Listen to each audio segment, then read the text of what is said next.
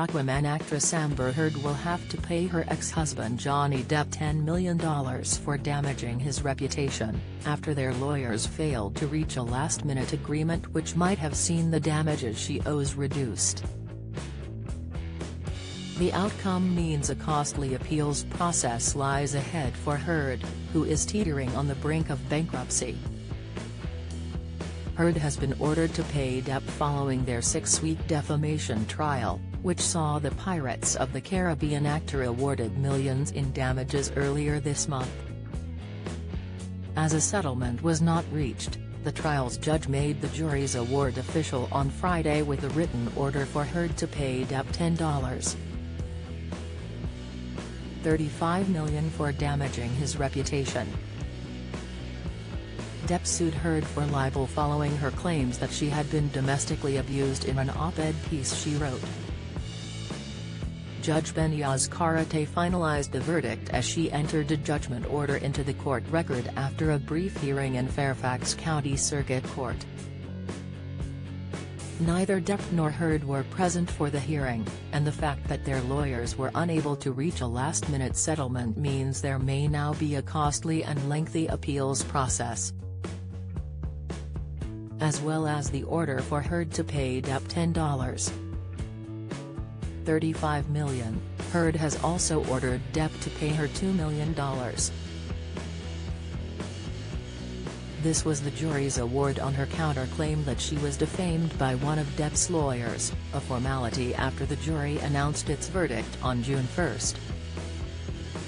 After the trial had concluded, Depp won all three of his claims against his ex-wife whereas Heard won just one.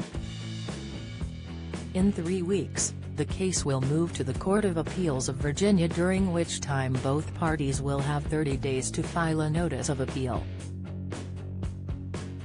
Heard admitted through her lawyer that she cannot afford the $8. 3 million in damages awarded to Depp and plans to appeal.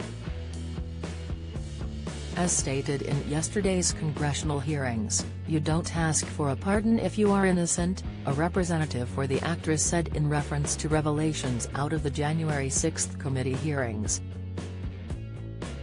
And, you don't decline to appeal if you know you are right. Depp sued Heard after she described herself as a public figure representing domestic abuse in an op-ed she wrote for The Washington Post in December 2018. The actor won all three of his claims and the jury found he should receive $10 million in compensatory damages and $5 million in punitive damages. However, the judge reduced the punitive damages award to $350,000 under a state cap. During Friday's hearing, the judge said that if Heard appeals, she must post a bond for the full amount of the $10. 35 million award while the appeal is pending, which is a common practice in cases like these. On top of this, Heard would also need to add an additional $480,000 in interest payments, with the judge's order stating that both awards are subject to 6% interest per year. After the trial verdict, Heard released a statement that said, The disappointment I feel today is beyond words. I'm heartbroken that the mountain of evidence still was not enough to stand up to the disproportionate power, influence, and sway of my ex-husband.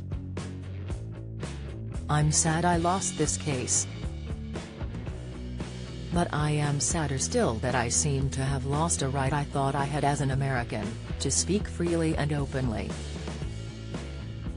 Describing how he had been truly humbled by the outcome, Depp said of the trial, from the very beginning, the goal of bringing this case was to reveal the truth, regardless of the outcome.